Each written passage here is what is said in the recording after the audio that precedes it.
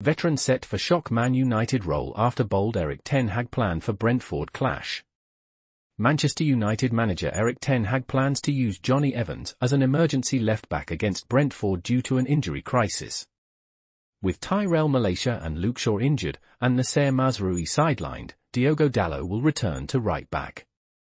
Evans, who impressed against Aston Villa, will fill the left-back role. Ten Hag aims to turn around United's poor start to the season.